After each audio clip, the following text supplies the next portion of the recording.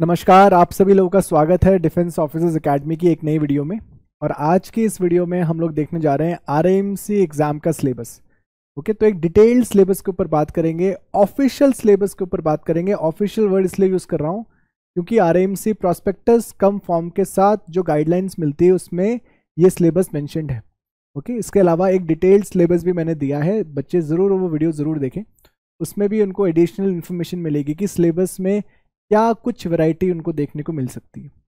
लेकिन आज मैं आपसे बात करूँगा ऑफिशियल सिलेबस की और कुछ रेफरेंस बुक्स भी मैं आपको ज़रूर रेफ़र करूँगा, जिसके थ्रू आप अपनी आर की प्रिपरेशन को बहुत अच्छा बना सकते हैं। तो आइए आज का सेशन शुरू करते हैं। देखिए, शुरुआत हम लोग मैथ्स से करते हैं। तो this is the official syllabus of R I M C Y M saying the official syllabus क्योंकि आर आई एम सी के गाइडलाइंस वाली प्रोस्पेक्टस में आपको देखने को मिलेगा। देखिए मैथ्स पेपर के ऊपर पहले बात कर लेते हैं। मैथ्स पेपर को इन्होंने चार कैटेगरी में डिवाइड किया है सिलेबस को। एक इन्होंने बोला है अर्थमेटिक है, एक बोला इन्होंने एल्जेब्रा एक बोला इन्होंने जोमेट्री और एक बोला इन्होंने मेंसुरेशन बेसिकली अर्थमेटिक में क्या क्या चीज़ें आपसे पूछी जाती हैं? इसमें नंबर सिस्टम है, जिसमें natural numbers integers rational real numbers और उन पर फंडामेंटल ऑपरेशन जैसे एडिशन सब्ट्रैक्शन मल्टीप्लीकेशन डिवीज़न ठीक है? तो इसमें बेसिकली बहुत सारी चीज़ें कवर हो जाती हैं। जब आप कोई भी रेफरेंस बुक देखेंगे तो इस तरीके से सिलेबस नहीं मिलेगा, आपको डिटेल्ड मिलेगा ओके अच्छा साथ ही साथ डेसिमल नंबर्स भी है, ठीक है? तो ये पूरा नंबर सिस्टम है, इसमें डिविजिबिलिटी का रूल भी है रिमाइंडर का रूल भी है, ठीक है? बहुत सारे क्वेश्चन हैं एल सी भी इसमें कहीं ना कहीं कवर होगा, वैसे तो एल सी आपको अलग से भी इसमें मैंशन है। चलिए आगे बढ़ते हैं, उसके बाद है यूनिटरी मेथड यूनिटरी मेथड को मैं काफ़ी इंपॉर्टेंट मानता हूँ, क्योंकि एज अ टूल बहुत सारे अलग टॉपिक्स में भी इसका यूज़ हम लोग करते हैं। लेकिन यूनिटरी मेथड से भी बहुत क्वेश्चन आ रहे हैं इसमें देखे गए then we have simple problems of time and distance ठीक है? So time speed and distance is one of the topic जो कि अर्थमेटिक के अंदर आता है। फिर हमारे पास है टाइम एंड वर्क फिर लिखा है simple problems of percentage so percentage is again one of the topic उसी से रिलेटेड है प्रॉफिट एंड लॉस उसी से रिलेटेड है डिस्काउंट उसी से कुछ ना कुछ रिलेटेड है पार्टनरशिप ऑल्सो पार्टनरशिप कहीं ना कहीं रेशियो से रिलेटेड भी है। Okay okay? चलिए। Then we have simple interest then we have prime and composite numbers ठीक है? कहीं ना कहीं it's a part of number system only ठीक है? Then we have test of divisibility जो मैं नंबर सिस्टम में बोल रहा था, वो यहाँ पर दिया उन्होंने स्पेसिफिकली ठीक है? तो test of divisibility by two three four five six nine and eleven LCM HCF ratio and proportion average brackets and removal of brackets ठीक है? कैसे ब्रैकेट्स में आप सॉल्व करते हो? बेसिकली वी बॉड मास की बात इसमें करी जा रही है। And then changing of units ठीक है? चेंजिंग ऑफ़ यूनिट्स कोई अलग टॉपिक नहीं होता बट यू शुड नो जैसे टाइम स्पीड एंड डिस्टेंस में कैसे हम किलोमीटर पर आवर को मीटर पर सेकेंड में चेंज करते हैं तो वो सारी चेंजिंग ऑफ़ यूनिट्स होती है. इवन एरिया वॉल्यूम निकालते वक्त यूनिट्स का कितना ध्यान रखते हैं. यूनिटरी मेथड में भी हम यूनिट्स का कितना ध्यान रखते हैं. तो एक अलग से उन्होंने बता रखा है कि चेंजिंग ऑफ़ यूनिट्स भी इंपॉर्टेंट है. तो this is what all about the first module which is arithmetic second module आपको दिया है एल्जेब्रा और एलजेब्रा में कुछ बेसिक ऑपरेशन है। अच्छा ये एलजेब्रा वाला पार्ट इसलिए इंपॉर्टेंट है क्योंकि जो ओलंपियाड बेस्ड मैथ्स आर में पूछी जाती है, उसमें भी कहीं ना कहीं एलजेब्रा का काफ़ी कॉन्ट्रीब्यूशन है। ठीक है तो अगर आपको ये एलिमेंट्री एलजेब्रा आती है तो आपको ओलंपियाड बेस्ड एलजेब्रा करने में मज़ा आएगा, या आप कह सकते हो कि आप इजिली कोप कर सकते हैं। देखिए बेसिक ऑपरेशंस क्या होंगे? एलजेब्रा में एडिशन सब्ट्रैक्शन मल्टीप्लिकेशन डिवीज़न फिर सिंपल फैक्टर्स वाली problem like A square minus B square वाला formula there are lots of formulas okay सारे इंपॉर्टेंट है. Splitting the middle terms quadratic equations इसमें सॉल्व करना लीनियर इक्वेशंस इसमें दिया है वन वेरिएबल्स ठीक है? या दो वेरिएबल्स वाले हों. एक्सपोनेंट्स एंड इंडिसेस एक्सपोनेंट्स वाला टॉपिक मैं लाइव में बच्चों को पढ़ा भी रहा हूँ. इस पर भी प्रॉब्लम्स आती हैं. Then simple problems based on formula ये सारे फॉर्मूलाज हैं. इसमें A cube minus B cube या A plus B plus C का होल स्क्वायर या A square minus B square या ए प्लस बी का होल क्यूब जितने भी फॉर्मुलेज हैं, जितने भी आइडेंटिटीज हैं, सारे इंपॉर्टेंट हैं। तो ये it's a part of algebra इसमें हम देखेंगे, अभी मैं आपको ओलंपियाड बेस्ड मैथ्स जो बेसिकली आपको इस गाइडलाइंस में देखने को नहीं मिलेगी, वो भी मैं आपको अभी बताऊँगा आगे।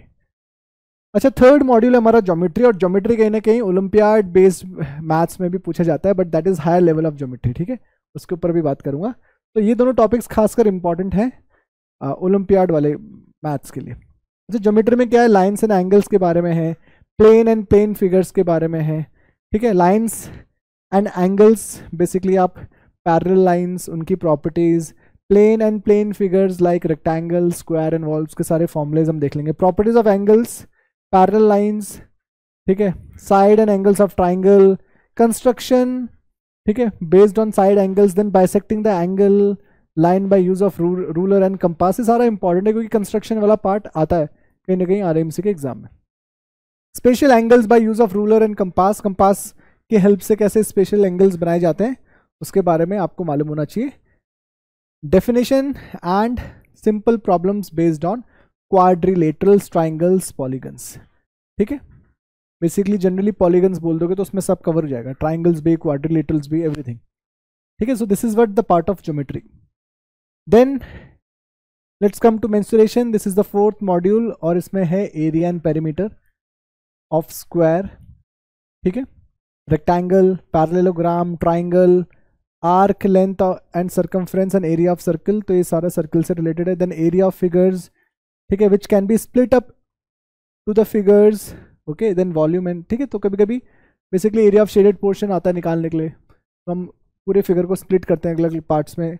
एरियाज़ निकालते हैं then volume and surface area of cube and cuboids ठीक है? लेकिन क्यूब एंड क्यूबॉइड्स के अलावा, देखिए यहाँ पर एटसेट्रा दिया है। They have not mention cylinder but cylinder is also there cone भी है स्फेयर भी है तो बहुत सारी चीज़ें हैं इसमें एडिशनली ठीक है? तो जब आप कोई भी बुक रेफर करेंगे तो उसमें वो एडिशनल चीज़ें आपको सारी देखने को मिल जाएँगी। लेकिन एक बहुत अच्छा रेफरेंस आपको इस सिलेबस से देखने को मिल जाएगा। ठीक कि आर में क्या क्या आता है? रेफरेंस बुक की बात करूँ so this is the reference book R D Sharma class eighth को मैं रिकमेंड करता हूँ, ये काफ़ी है बच्चों के लिए। ये जगह मैंने खाली इसलिए छोड़ी हुई है, क्योंकि यहाँ पर मैं बात करूँगा आपसे ओलंपियाड मैथ्स की। ठीक है? देखिए ओलंपियाड मैथ्स का सिलेबस आर ने नहीं दिया है ना ही आर ने इंटीमेट किया कि हम लोग ओलंपियाड बेस्ड मैथ्स पूछने वाले हैं मैथ्स के पेपर में, ठीक है? लेकिन फिर भी मैं स्पेसिफिकली आपको बता दूँ कि ओलंपियाड मैथ्स में मॉड्यूल्स बना के क्या क्या आपसे पूछा जा रहा है। देखिए, इसको भी मैं चार मॉड्यूल्स में डिवाइड करूँगा। First module is all about higher level of algebra ठीक है? हायर लेवल ऑफ़ एल्जेब्रा ठीक है? ज़्यादा एक्सप्लेनेशन तो नहीं दूँगा, लेकिन हाँ बेसिकली क्वाड्रेटिक इक्वेशंस बहुत इंपॉर्टेंट है, ठीक है? हमने अभी तक linear equation of one variable देखा है। तो आपने देखा होगा कि you have one equation you have one variable तो आप इजिली कैलकुलेट कर सकते हो। अगर दो वेरिएबल्स है तो यू हैव टू इक्वेशंस लेकिन क्या आपने ऐसे क्वेश्चन करें कि you have only one equation and there are four variables in it तो वो फिर ओलंपियाड बेस्ड क्वेश्चन हो जाते हैं that is the higher level of algebra okay और ऐसे बहुत सारे क्वेश्चन हैं जहाँ पर क्वाड्रेटिक इक्वेशंस का यूज़ आपको करना पड़ेगा। अलग से मैंने बहुत सारे वीडियोज़ बनाए ओलंपियाड वाले तो वहाँ पर आप देख सकते हैं कि मैंने थोड़ा सा सिलेबस के बारे में डिस्कस किया है। So the higher level of algebra is one of the part this is the first module. The, the second module is combinatorics. Combinatorics. ठीक है? Combinatorics is all about permutation and combination. ठीक है? इसमें arrangement selection सारे कुछ बच्चों से पूछा जा रहा है. Even there is one more important thing which is called circular permutation basically circular arrangements भी इसमें एग्ज़ाम्स में बच्चों से क्वेश्चंस पूछे गए. Okay so combinatorics is also very important the third module is geometry ठीक है, देखिए, मैंने कहा था ना पिछले वाले सिलेबस में, मैंने कहा था एल्जेब्रा इंपॉर्टेंट है और ज्योमेट्री इंपॉर्टेंट है, इसलिए मैं आपको बता रहा हूँ। और ये जो ज्योमेट्री है, ये ये वैसी वाली नहीं है जो आपने अभी देखा था कि इसमें बेसिकली लाइन्स एंड एंगल्स के बारे में आएगा। बेसिकली इसमें एक तो सर्कल्स सर्कल्स में जो टेंजेंट्स होते हैं, उन पर बेस्ड प्रॉपर्टी उन पर बेस्ड थ्योरम्स आपको आने चाहिए। ट्राइंगल्स पर बेस्ड थ्योरम्स आपको आने चाहिए। ठीक है कॉन्ग्रेंसी के रूल्स आने चाहिए। तो वो सारी चीज़ें इंपॉर्टेंट है then there are lots of questions based on olympiad ठीक है? तो वो वाली ज्योमेट्री है थोड़ा सा मैं स्पेसिफिक लिख लेता हूँ ताकि बच्चे कंफ्यूज ना हो। ठीक है? बेसिकली टैंजेंट्स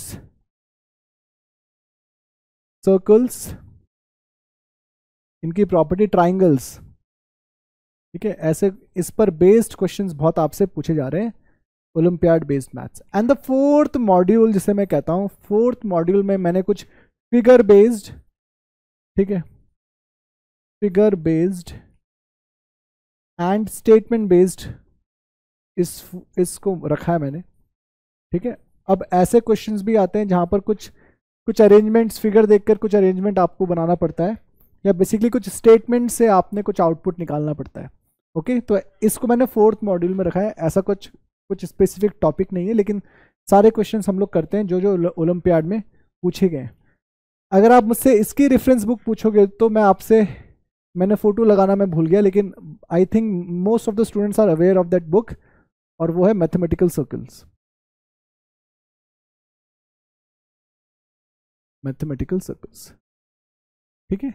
ये रशियन एक्सपेरिमेंट करके बुक है बेसिकली इसमें सारे रशियन राइटर्स हैं।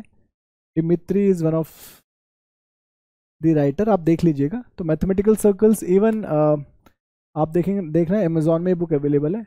तो ये बुक एक रेफरेंस बुक है जहाँ से आपको क्वेश्चंस देखने को मिल सकते हैं। कॉन्सेप्ट तो उतने समझ में नहीं आएँगे, लेकिन क्वेश्चंस काफ़ी अच्छे खासे आपको यहाँ से देखने को मिल जाएँगे। So this is what all about olympiad maths ठीक है? तो this is what about maths ये मैथ्स का है। अगर आपको अभी भी कुछ और डिटेल्ड जानकारी की ज़रूरत है तो आप नीचे देंगे नंबर्स पर हमसे ज़रूर संपर्क करें।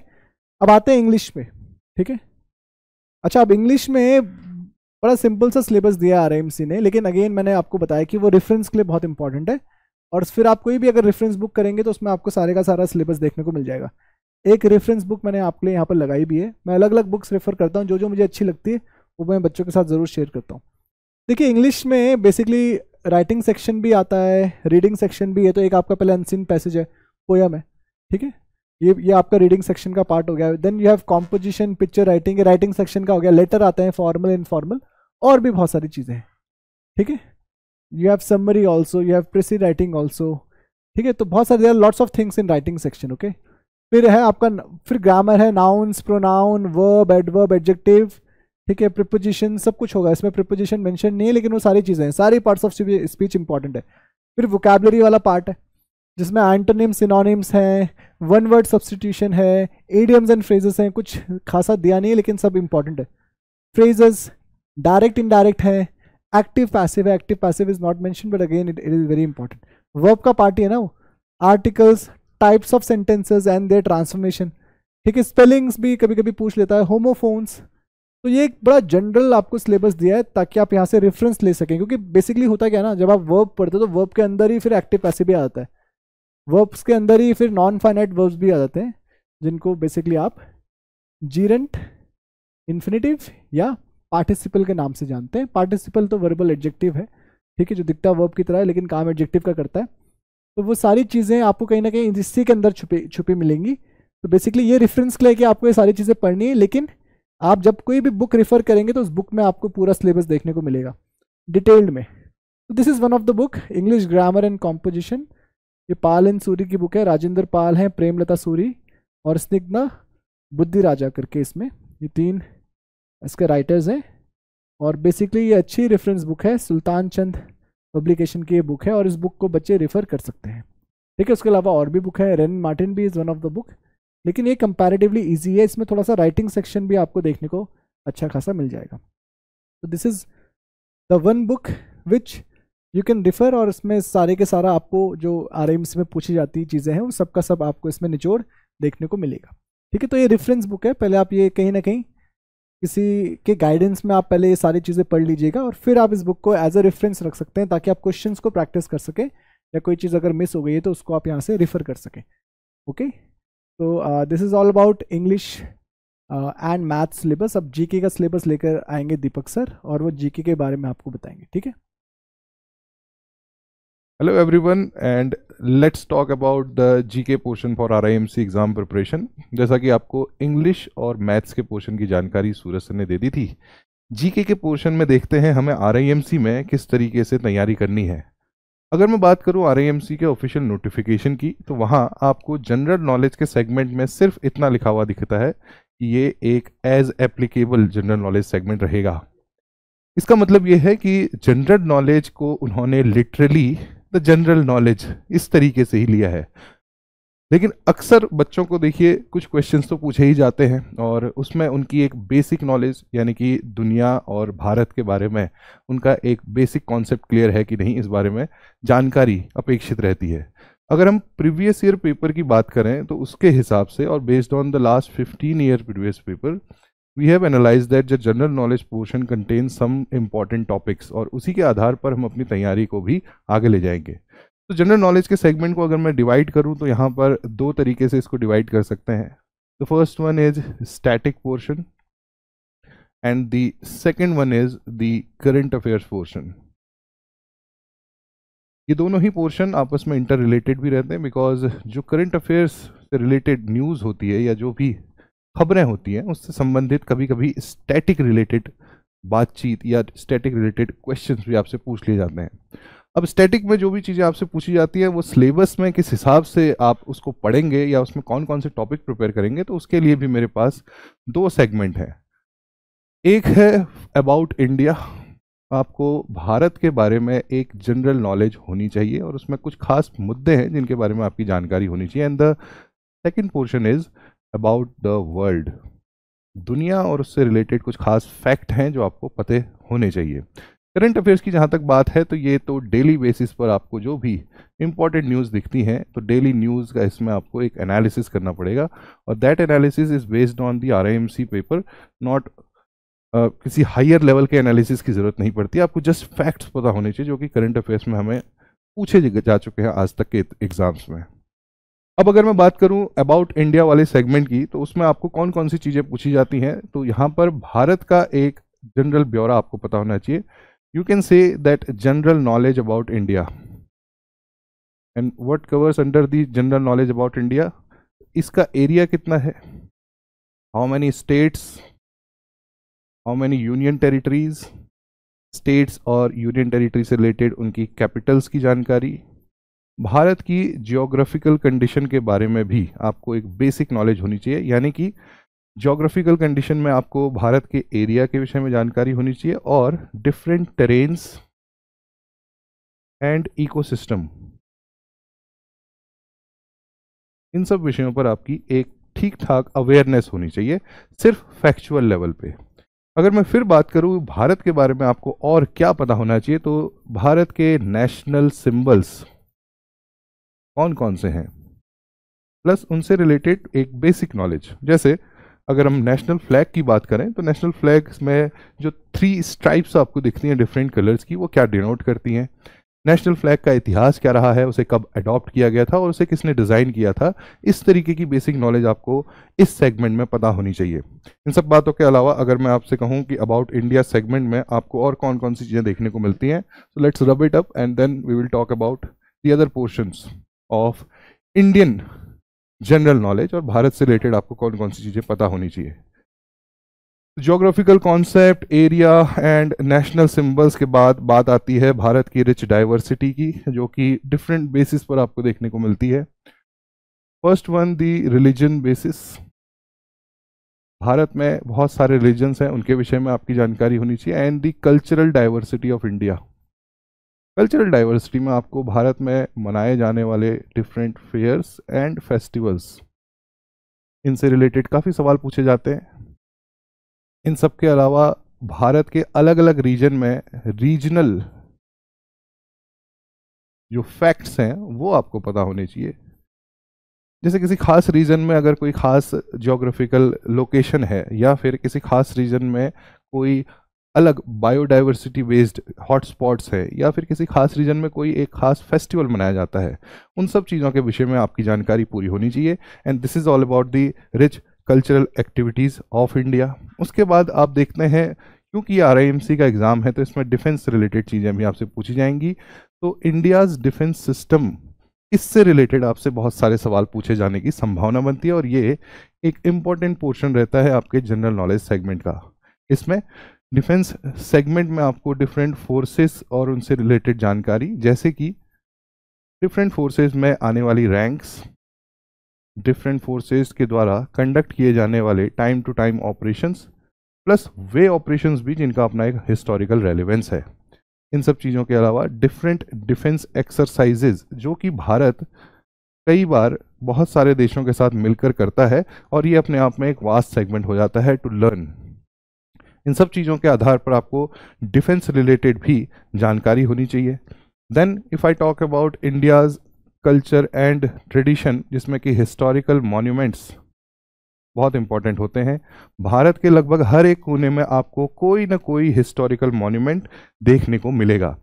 इन सब चीज़ों का एक दायरा बना करके और इन सब चीज़ों को एक टॉपिक के तौर पे पढ़ के आप एटलीस्ट इंडिया के बारे में एक ठीक ठाक जनरल नॉलेज गेन कर सकते हैं। इन सब चीज़ों के अलावा जैसा कि मैंने आपको जोग्राफिकल फीचर्स के बारे में बात की थी तो भारत में आपको different mountains mountain peaks river system volcano and plateaus etcetera देखने को मिलते हैं। इन सब जोग्राफिकल फीचर्स के बारे में भी आपकी जानकारी होनी चाहिए ऑन अ बेसिक लेवल मतलब भारत में कौन कौन सी माउंटेन पीक्स मिलती हैं, उसमें हाईएस्ट कौन सी है? प्लस रीजन वाइज अगर हम इन्हें डिवाइड करके देखें तो नॉर्थ इंडिया में कौन सी हाईएस्ट पीक है? साउथ इंडिया में कौन सी हाईएस्ट पीक है? और इसके अलावा जो रिवर सिस्टम है, उसमें नॉर्थ इंडियन रिवर्स का सिस्टम कैसा है? साउथ इंडियन रिवर का सिस्टम कैसा है, जिसमें वो रिवर्स कौन सी हैं जो बे ऑफ़ बंगाल में गिरती हैं और वो कौन सी हैं जो अरेबियन सी में गिरती हैं? And plus other facts related to volcano क्या भारत में कोई एक्टिव वॉल्केनो है? या फिर वॉल्केनिक रीजन में कौन से इलाके भारत के आते हैं? साथ ही साथ आपको एक बेसिक डिज़ास्टर मैनेजमेंट से रिलेटेड फैक्ट्स भी पता होने चाहिए, क्योंकि आए दिन आपको कहीं ना कहीं अर्थक्वेक एरियाज़ के तौर पर कहें या फिर साइक्लोनिक एक्टिविटीज़ के तौर पर कहें तो भारत में बहुत सारे हॉटस्पॉट देखने को मिलते हैं।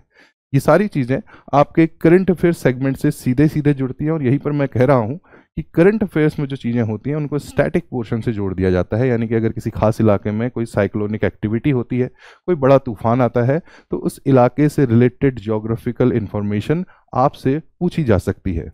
Then comes the polity portion of the Indian system Bharat में जो व्यवस्था है गवर्नेंस है, वो कैसे रन करती है, उसकी जानकारी भी आपको एक बेसिक लेवल पर होनी चाहिए और इसमें सबसे बड़ी चीज़ आती है, वो है इंडियन कॉन्स्टिट्यूशन के कुछ खास फीचर्स कुछ खास आर्टिकल्स होते हैं जो इंडियन कॉन्स्टिट्यूशन में रिलेटेड हैं, जिसमें आपको फंडामेंटल राइट्स फंडामेंटल ड्यूटीज़ से रिलेटेड बेसिक जानकारी होनी चाहिए।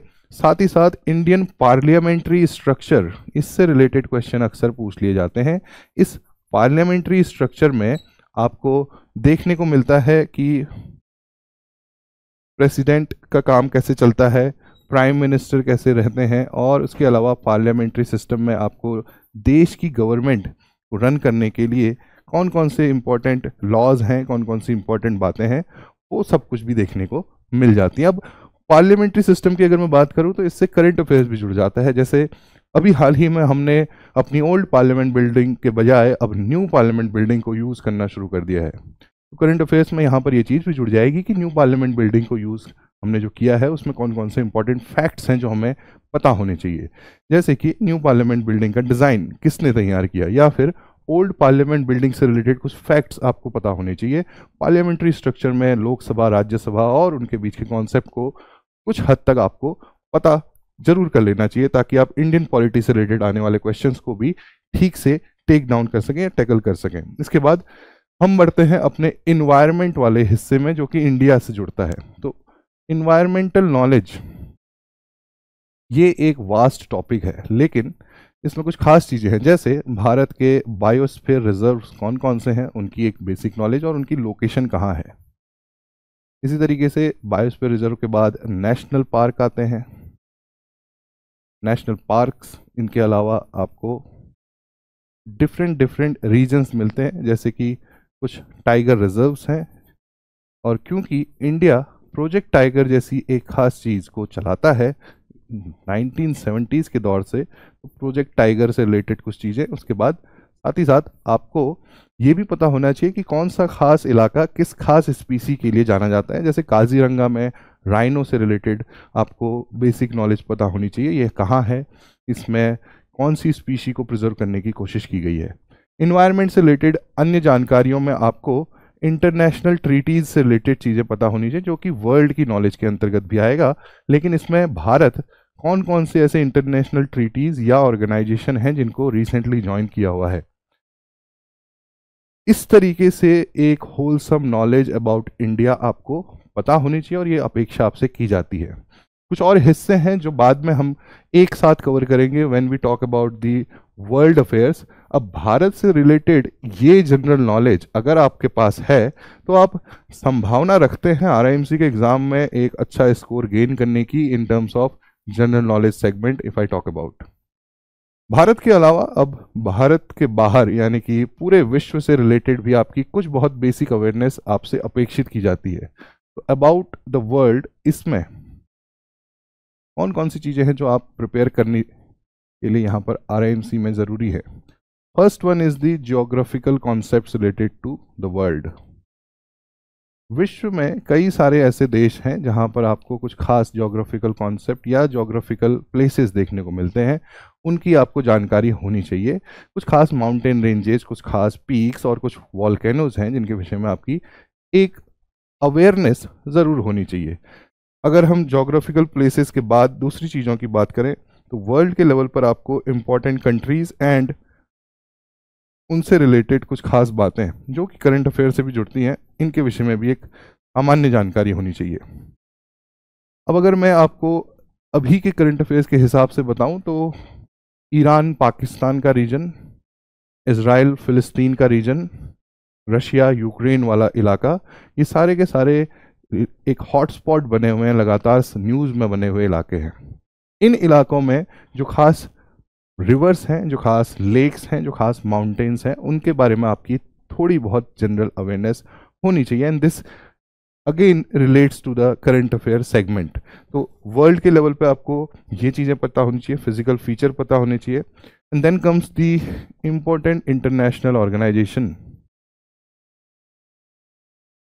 और यहाँ पर ओवरलैप होगा इंडिया के बारे में न्यूज़ से रिलेटेड भी।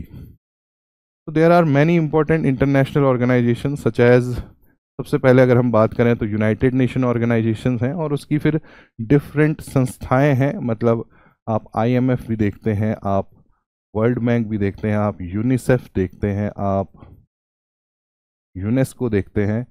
और उनसे रिलेटेड अपने अपने कुछ खास फैक्ट्स हैं। इनमें हमें डीपली चीज़ों को पढ़ने के बजाय उनसे रिलेटेड इंपॉर्टेंट फैक्ट्स को ज़रूर समझना है। तो जैसे यूनेस्को में आपको यूनेस्को वर्ल्ड हेरिटेज साइट की लिस्ट अक्सर देखने को मिलती है। वैसे ही इन इंपॉर्टेंट इंटरनेशनल ऑर्गेनाइजेशन से जुड़ करके अगर हम देखें तो इंडियन इंपॉर्टेंट इंटरनेशनल ऑर्गेनाइजेशन कौन कौन से हो सकते हैं? या फिर India is part of how many international treaties जैसा कि पीछे भी मैंने ज़िक्र किया था। तो उसमें यूनाइटेड नेशन के साथ मिलकर के इंडिया ने कौन कौन सी चीज़ें की हैं? प्लस कौन कौन से ऐसे भारत के सिटीजन हैं जो कहीं ना कहीं किसी न किसी यूएन एजेंसी में टॉप पोजीशन पर हैं? उनके विषय में भी जानकारी होनी चाहिए। जैसे इंटरनेशनल कोर्ट ऑफ़ जस्टिस है। डब्ल्यू है, उसमें कुछ खास इंडियंस ने अपनी सर्विस दी है एक ख़ास पोजीशन पे। तो ये रिलेटेड जो न्यूज़ हैं करंट से भी जुड़ती हैं। इन सब के अलावा कुछ कन्वेंशंस हैं ख़ास तौर पर United Nations Framework Convention on Climate Change और रामसर कन्वेंशन जैसे कुछ खास मुद्दे। इन सब के अलावा आपको वेपन जो कन्वेंशंस हैं, उनके विषय में भी जानकारी थोड़ी बहुत लेवल पे होनी चाहिए। ये टॉपिक्स हैं जो काफ़ी वेरियस टॉपिक्स हैं और साथ ही साथ इनसे रिलेटेड जो नॉलेज है वो भी काफ़ी वास्ट है। मेन मुद्दा यहाँ पर जनरल नॉलेज को प्रिपेयर करने का है कि आप उसमें जो एप्लीकेबल नॉलेज है उसको गेन करें, यानी कि आपके आज के समय से रेलेवेंट जो भी सूचनाएँ आपके आसपास घट रही हैं उनका आपको ज्ञान होना चाहिए और उनका ज्ञान होने के लिए कहीं ना कहीं उनके बैकग्राउंड के तौर पर इन सब कॉन्सेप्ट्स की आपको अवेयरनेस होनी चाहिए। That's why we are covering these important international organisation that's why we are talking about the important countries and that's why we are talking about the geographical concept of the world इन सब चीज़ों के अलावा फिर कुछ factual information आती है, जैसे wonder of world's तो अलग अलग स्तर पे बहुत सारे वंडर्स हैं सेवन वंडर्स आपने नाम सुना ही है। और वंडर ऑफ़ वर्ल्ड्स की जब हम बात करते हैं तो उसके साथ ही साथ आपको इंडिया के कॉन्सेप्ट में भी इंडिया के डोमेन में भी कौन कौन से इंडियन वंडर्स हैं, उनके बारे में भी जानकारी होनी चाहिए। And then comes the another important portion that is the superlatives और यहाँ पर भी ओवरलैपिंग सिचुएशन रहती है। सुपरलेटिव्स में आपको Indian superlatives as well as world superlatives के बारे में पता होना चाहिए। अगर हम सुपरलेटिव्स की बात करें तो वो क्या होते हैं? देखिए, दुनिया में कोई भी चीज़ अगर लार्जेस्ट है लॉन्गेस्ट है हाईएस्ट है डीपेस्ट है, या फिर इंडिया में भी अगर कोई चीज़ लार्जेस्ट लॉन्गेस्ट डीपेस्ट हाईएस्ट आती है तो इन सब टर्म्स को सुपरलेटिव्स कहा जाता है। इन सब चीज़ों के अलावा सीधे सीधे एक और इन्फॉर्मेशन यहाँ पर जुड़ती है, वो है फ़र्स्ट इन द वर्ल्ड विश्व में कोई भी चीज़ पहली बार कब हुई थी या कब हुई है? और first in India as well ये जानकारी है जो एटलीस्ट आपको वर्ल्ड अफेयर्स के तौर पे पता होनी चाहिए और यहाँ सब चीज़ें करंट अफेयर्स से जुड़ती हैं। तो current affairs is a crucial role to play in this examination और वहीं से आपको फिर समझ में आएगा कि कोई क्वेश्चन किस लिहाज से, कब आपसे पूछा जा सकता है। Now if I talk about देखिए, भारत के बारे में हमने जानकारी देख ली और उसमें हमें एक बेसिक आइडिया हो गया कि हमें कौन कौन सी चीज़ों पर ध्यान देना है किन किन टॉपिक्स को कवर करना है एटलीस्ट जिसकी वजह से हम अपने जीके के पोर्शन में अच्छा स्कोर कर सकते हैं और आपको ये भी पता होना चाहिए कि जीके के पोर्शन में जितने क्वेश्चंस आते हैं विदाउट एनी नेगेटिव मार्किंग आते हैं तो ये एक आपके लिए विन विन सिचुएशन भी हो सकती है, अगर आपकी नॉलेज का दायरा बहुत ज़्यादा बड़ा हुआ है तो। बात अब करेंगे कुछ ऐसे पोर्शंस की जो इंडिया एंड द वर्ल्ड दोनों लेवल पे आपको समझने होंगे। और वो पोर्शंस होते हैं, सबसे पहले तो स्पोर्ट्स का फ़ील्ड है।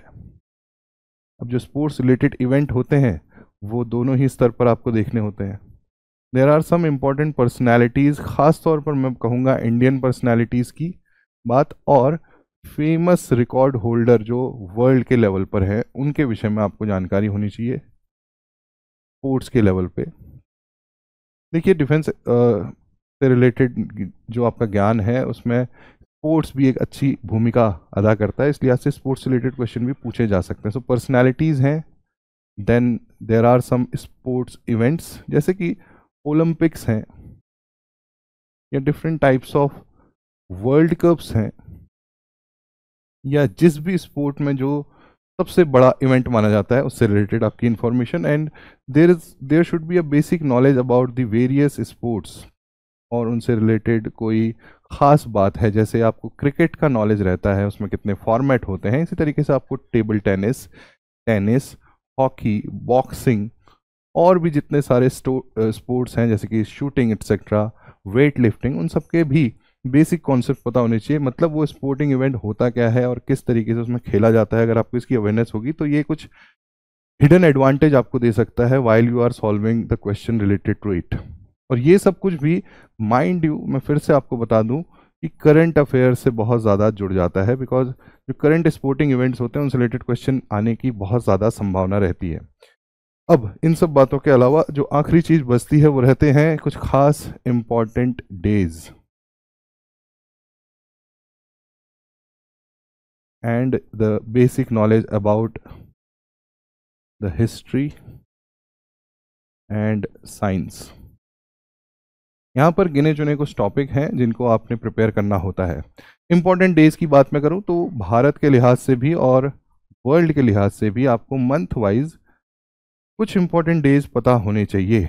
कुछ नेशनल डेज़ हैं और कुछ इंटरनेशनल डेज़ हैं। उनकी एक लिस्ट होती है, उसे ज़रूर आपने प्रिपेयर करना होगा।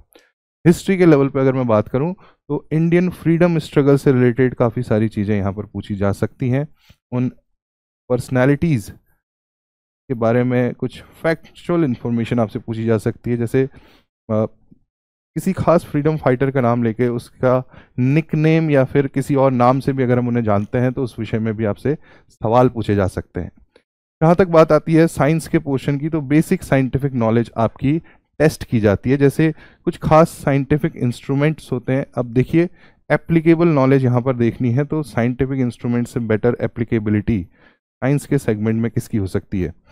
कुछ इंस्ट्रूमेंट्स हैं और कुछ कॉन्सेप्ट्स हैं साइंस के, और उनमें आपको एक ठीक ठाक स्तर की फिजिक्स, केमिस्ट्री और बायोलॉजी से रिलेटेड नॉलेज होनी चाहिए। ये आपकी क्लास के लेवल तक का ही साइंस यहाँ पर पूछा जाता है। उसकी एप्लीकेबिलिटी को चेक करने की कोशिश की जाती है। तो यहाँ पर मेटल्स, नॉन मेटल्स की जानकारी हो force friction light sound etcetera जो फिजिक्स से रिलेटेड कॉन्सेप्ट है, उनकी जानकारी हो, या फिर human body plant body and cell structure से रिलेटेड जानकारी हो, वो आपसे पूछी जाती है। तो एक लिहाज से अगर देखा जाए तो जनरल नॉलेज के सेगमेंट में बहुत ज़्यादा वास्ट टॉपिक आपको कवर करने होते हैं। लेकिन अगर आप इसकी सही रणनीति के साथ तैयारी करते हैं तो आपको ये सारे टॉपिक एक साथ कंबाइन करने में आसानी होगी। इन्हें कुछ पोर्शंस में बांट करके हमने आपको दिखाया है। ये एक आपको बेसिक नॉलेज दे देता है कि आपको किस स्तर से तैयारी करनी है और कितने पोर्शंस कवर करने हैं। इन सब बातों के अलावा भी जनरल नॉलेज के सेगमेंट में बहुत सारी और बातें ऐड की जा सकती हैं, लेकिन एटलीस्ट इतनी प्रिपरेशन आपसे अपेक्षित रहती है। तो ये जनरल नॉलेज के सेगमेंट से जुड़ी हुई कुछ महत्वपूर्ण बातें थी और ख़ास तौर पर उसके सिलेबस जो कि एज एप्लीकेबल लिख करके छोड़ दिया गया है, उसको हमने थोड़ा एलैबोरेट करने की कोशिश की है। आई होप आपको इस तरीके से जो हमने सिलेबस की आपको जानकारी दी है, उससे कुछ मदद मिली होगी और आपको अपनी तैयारी में भी इसमें आगे जा करके एक इजी वे अराउंड मिल जाएगा कि आपको कौन कौन से पोर्शंस तैयार करने हैं। इन सब बातों के साथ ही आज के वीडियो को यहीं पर समाप्त करते हैं। आपकी कोई भी क्वेरीज हों तो आप इन दिए गए नंबर्स पर संपर्क कर सकते हैं और फिर मिलेंगे आपसे एक नए इन्फॉर्मेटिव वीडियो के साथ। तब तक के लिए all the very best and bye bye